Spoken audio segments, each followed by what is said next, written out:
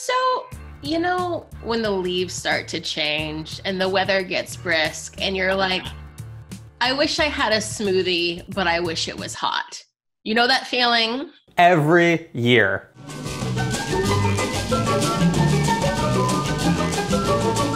Thankfully, the people at Tasty have invented the hot smoothie.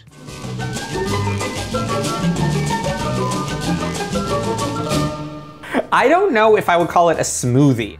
Or soup, maybe? Like sweet Yeah. soup. I don't know. Like that's that's my advice to the like the smoothie crowd this time of year is have you heard of soup? I consider a smoothie is like blended fruit. Like that's what makes it a smoothie. This one that we're doing is they called it sweet potato gingerbread. And so the base is sweet potatoes, which is not a fruit. And then everything else in it is not fruit. So it's it, it is kind of just like a warm pie filling drink. Yeah, it is like a pie filling. It is smooth though. Hence smoothie. Yeah. So I have a lovely plate of ooh of hot smoothie ingredients.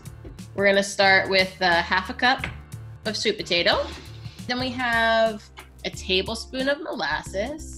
Oh, a tablespoon of molasses and a tablespoon of almond butter. It's a half a teaspoon of cinnamon, half a teaspoon of dry ginger, and a pinch of salt.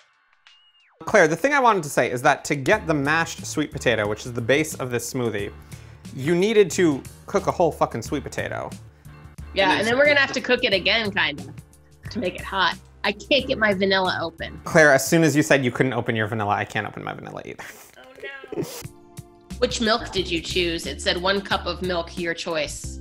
Milk of choice. I went with the organic milk of choice brand. No, this is almond. Oh, of classic cow. Okay, I'm gonna do it right now. Here we go. Yeah, I mean that's oh smooth. Very smooth.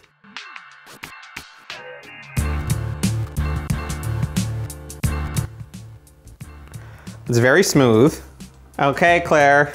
Uh, cheers. Cheers.